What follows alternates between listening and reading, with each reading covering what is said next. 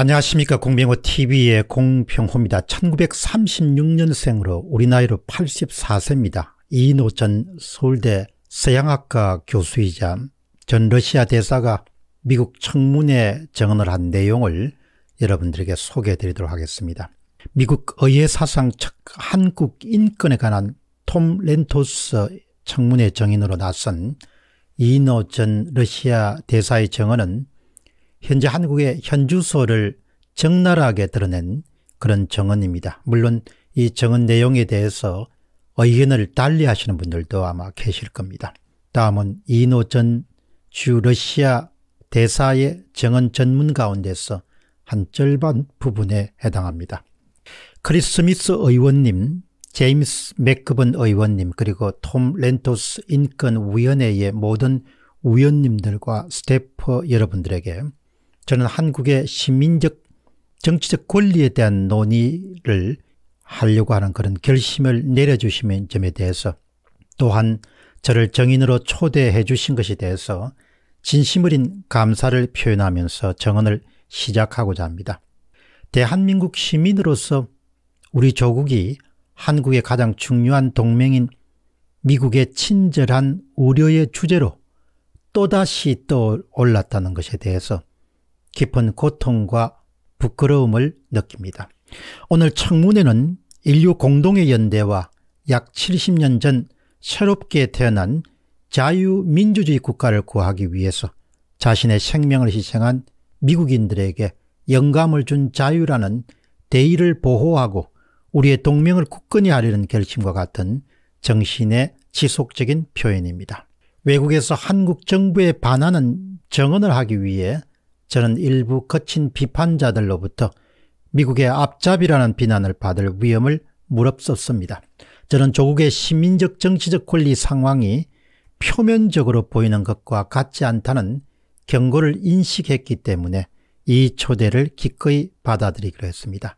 자유와 민주주의에 대한 헌신을 공유하는 친절한 이웃들로부터 시위적절한 주의와 전략적 도움을 받지 못한다면 한국에 살고 있는 5천만 시민들은 북한과의 무조건적 평화라는 유혹적인 슬로건에 안도할지 모릅니다. 이것은 핵무기를 무장하고 억압받고 굶주린 북한 주민들과의 준비되지 않는 병합을 통해 한국인들에게 갑작스러운 인권 침해를 불러오는 것이 확실한 길로 우리를 인도할 것입니다. 저는 어느 국가나 다른 국가의 내정에 개입할 수 있고 그래야만 된다고 생각하지는 않습니다. 그러나 저는 지금과 같이 전 세계에서 자유와 민주주의가 위협을 받을 때 신뢰할 수 있는 정보를 공유하며 지구적으로 함께 가능한 자원들을 모으는 것이 우리 공동의 대의의 지속에 필수적이라고 믿습니다. 1990년대 초 러시아와 유럽에서 사회주의가 몰락하고 있을 때 대한민국은 경제적 부상과 정치적 민주주의화에 있어서 모두 성공함으로써 모방의 대상이 되는 국가이자 자유민주주의 시스템 정치체제의 우월성에 살아있는 생생한 증거로 떠올랐습니다. 4년 전 한국은 새로운 민주주의가 자랑스럽게 선출했던 첫 여성 대통령을 탄핵함으로써 또다시 전 세계 주목을 받았습니다.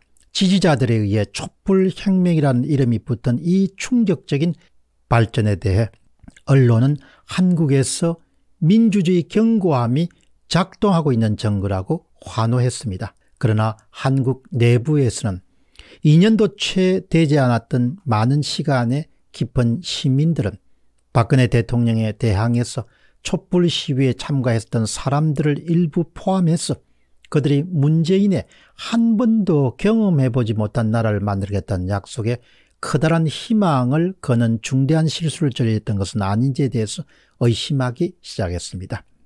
한국 전쟁에 대한 생생한 기억을 가지고 있는 한국인들은 특히 이 나라가 포퓰리즘의 전체주의 국가로 향하고 있으며 더 오만해지는 중국과 핵무장을 했으나 비참하게 가난한 북한으로부터의 강도 높은 압력에 의해 독립국가로서의 대한민국의 생존이 점점 위협을 당하고 있는 것에 대해서 두려움을 느끼고 있습니다.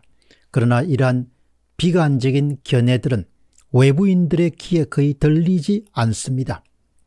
왜냐하면 한국의 주요 미디어 채널들은 공식적인 정부의 입장과 시끄러운 포퓰리스트의 흐름에 직접적으로 반대되는 걔네들을 보도할 만한 충분한 표현의 자유를 소유하고 있지 않기 때문입니다.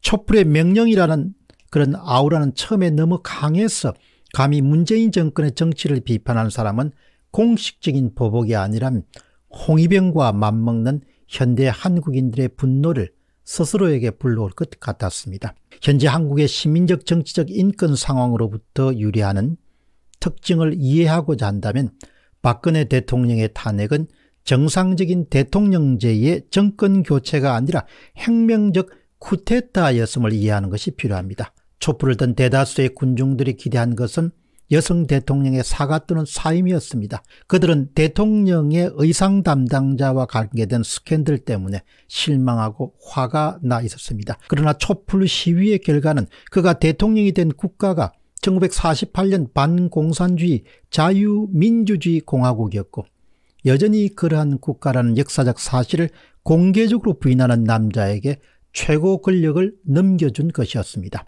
특징적으로 말하자면 2018년 문재인 대통령이 북한을 방문했을 때 그런 김정은과 환호하는 북한 주민들 앞에서 자신을 대한국 대통령이 아니라 남측 대통령이라고 자신을 불렀습니다.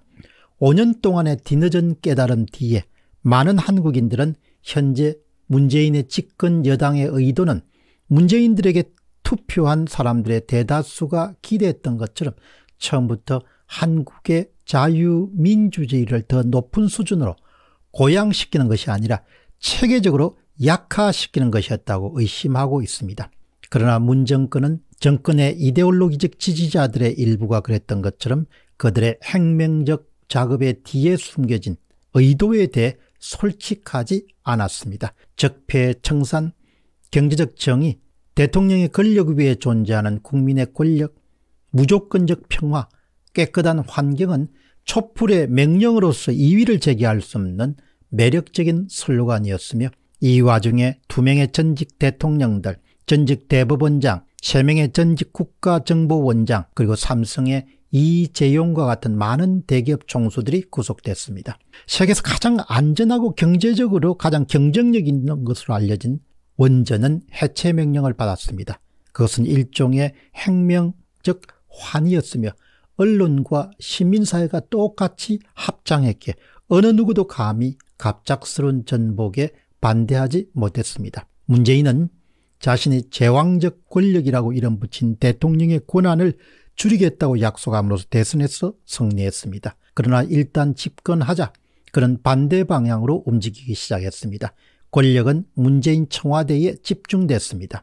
중대 범죄로 기소된 전직 대통령들뿐만 아니라 반공주의적 추진력으로 이전 정부들을 충실하게 섬겼던 100명이 넘는 고위직들이 거의 예외 없이 체포되거나 혐의로 재판에 해보되었습니다. 정부나 공공기관, 특히 KBS나 MBC 같은 주요 방송사의 최고위직에 임명된 거의 모든 사람들이 직에서 쫓겨나고 말았습니다. 많은 사람들이 그들의 명예와 가족이 파괴되는 것을 보는 대신 자살을 선택했습니다.